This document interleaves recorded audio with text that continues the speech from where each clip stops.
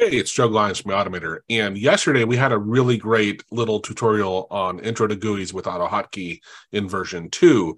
Version two, the GUIs are much different. So we're creating a course, which I'll give you the link right here. You can purchase it and get a really good discount.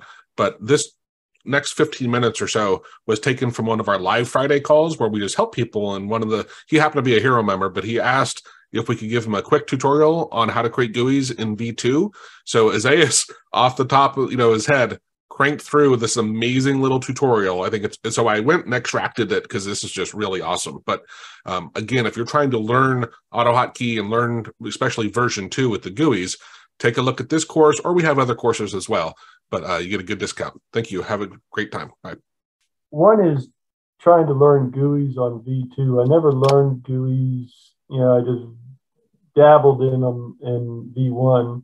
And then in V2, there's great examples of really powerful code, but it, you have to go through advanced topics to learn the basics of the GUI. And I get squirrel, dog, butterfly on learning the basics in V2 uh, for GUI. So I didn't know if it, there was a any good examples or learning path, that kind of thing?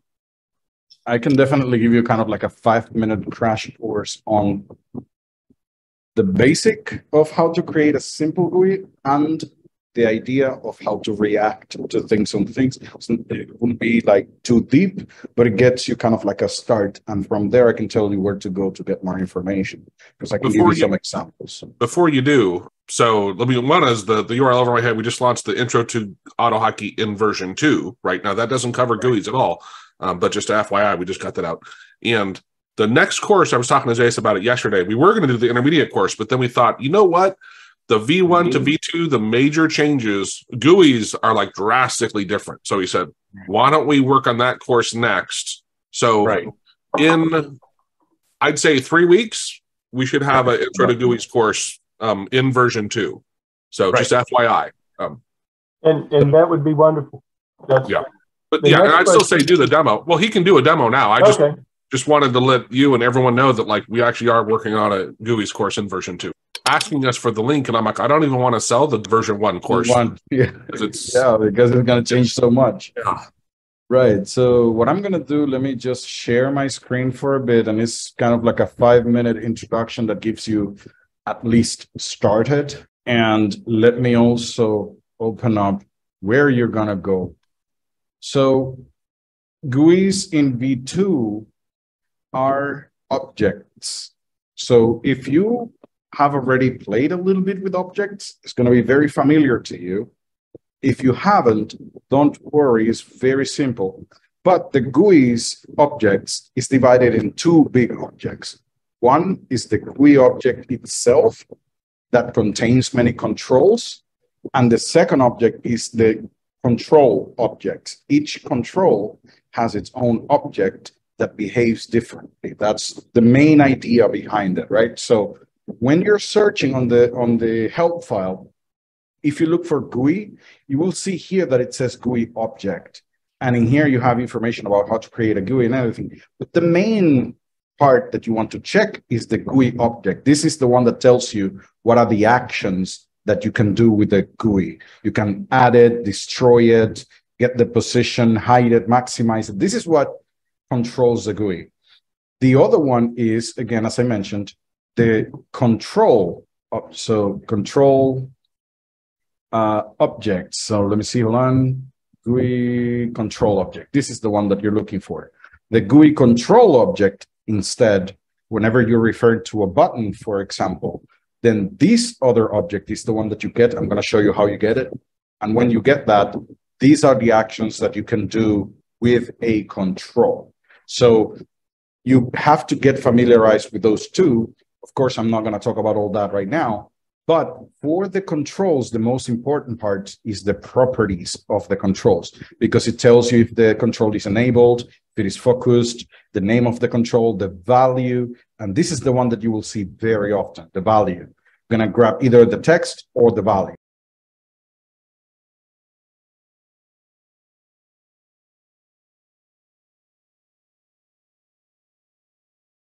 Those two things separately, let me show you a quick piece of code um, that creates a GUI.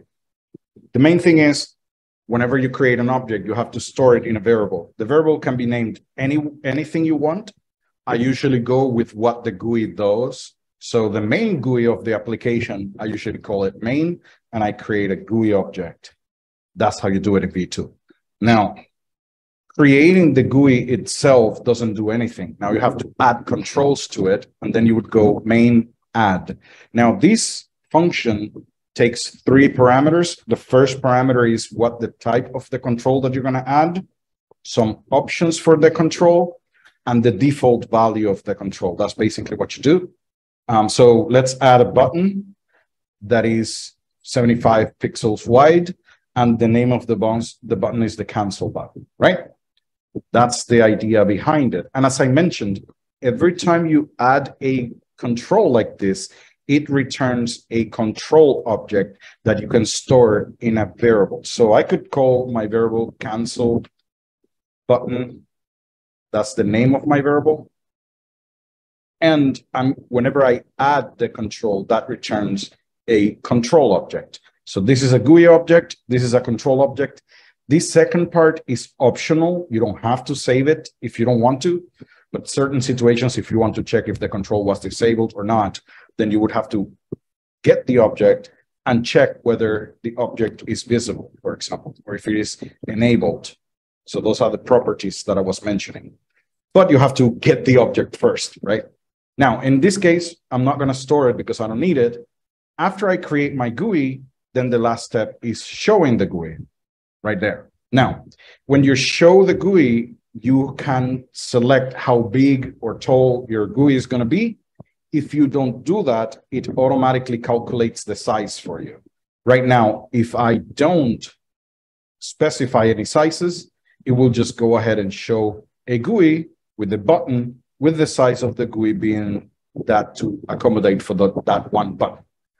That's the basics of it. So if I want to add more things, then I would just copy this guy and the type of thing that I want to add is a list view, for example, and I want that to be 300 pixels wide and I don't know, 20 rows for a list view. What I have to specify instead of text is the columns, and that is going in an array. Later on, when you read about those a little bit more, you can get more information. Let's say name, last name. I'm just going to put those two. And let's add the list view first and the button second. Now I show it. Um, this is just because I don't have the single instance. It's just telling me that the script is already running. I say yes. And now I have a list view with a button. You see how easy it is to create a GUI? It's not that hard. After you get the types of controls that you can add, you just add them one after the other. You can position them. Like, for example, I want an OK button. So let's get an OK button right in front of this one. But the cancel button, I don't want it below the other one. So at the bottom, you see that they are showing both one above the other. I want to show them horizontally. Then I would just tell it, okay, I want my cancel button to be to the right of my OK button. So this is the OK, this is the cancel. And this just says add it to the right. I can put some pixels here, 25 pixels, 10 pixels, it doesn't matter. But the M is kind of like the default pixels for the margin. That's what it means. So X plus M says, put it to the right, the margin amount of pixels. Doesn't matter what that is. I could set that up late, uh, before or after. I don't, doesn't really matter. And now I have the buttons one after the other. That's it. That's the main concept of building the GUIs. The problem is, hey, I want to react to the GUI. And in V1 and V2, there's a big of a difference there. That's the second big difference of GUIs, because in V1, GUIs are not objects. So that's the first difference. The second difference would be how you react to actions. As this is an object, remember that I told you that I can save this into my OK button object. Now the object has a method called on event, right? And that tells, I, I can tell the button to react to certain things, whether I click it, whether I close the GUI, where, there are certain events, there's a list of events. I'm to link to that too. I'm to send all these links on the chat so you have that. So if you look for the on event um, part of the documentation, you will have a list of events that you can target. Not all the controls get all the events. So for example, you cannot click on a list view for, well, you can. Um, let me see. If you click on it, it tells you which controls accepted. So if it is not one of these controls, you cannot capture that message. Does that make sense? Yeah. So you can have a button, and when you click the button, you can react. Well, what we're going to say is on the event that I click on this button, let me call a function. So this in V1 was the label that you would call or the function. Here, you just specify the name of the function. You can create whatever name you want. So I say show OK message. That's the name of my function. Now that I referred to it, I have to create it. So whatever you want on your code, you just create a function that performs the action that you want. But be careful. Whenever you click, there are some parameters being sent to this thing that you have to mention. For the click, when you click here, when I check on the click event, it sends three parameters. It sends the object that was clicked, the information that depends on the object, and if it was a link, it would have a third parameter called href. I at least have to mention these two. It could be any name. I could I usually just copy paste them, or I have a hot a hot string that does that. I could name then the object and the info. That's it. But if I don't care about them, like I'm not going to be checking on the info, and I know that the object is this button, then I don't need them. Then you can just put an asterisk there to indicate ignore them, right? I usually for these type of things just use the asterisk. Most of the times I don't need to see which button clicked what, so I don't care. Now in this case, I just perform my actions. So let's say message box, you clicked the OK button, and that's it. So you have to react to the event. That's it as this is an object, this is one of the interesting things about objects. You don't have to save everything into a variable. You can string the actions one after the other by using the dot notation. So this here, I could concatenate it right here, and I don't need to save the variable any longer. I could have the whole thing in one line. Does that make sense? So I create the button, and that gives me an object and that object i'm going to call the on event on it right away so i can do the whole thing in one line that's one of the good things about this as i run this code what is going to happen is that if i click the ok button i'm going to get a message box does that make sense Yeah, And that's that's- great. yeah that's it. So basically those are the things that that gets you started. And again if i want the cancel button i could use the on event. This time i'm not going to show the okay message maybe the cancel message. So cancel. And this one i do the same thing. I don't care about parameters. Now all my actions in this case i'm going to just copy this make it there and cancel so I don't know if you have any questions regarding this. How would you close the window? When if you cancel the button, if you wanted to actually do the same as X, close the window. Yeah, you can either so you Rather than message box, you change that to a to exit app or hide. So let's say that I not just exit want the app, but actually close it GUI, destroy the Right. GUI. destroy it. You can use now the remember that we created an object here.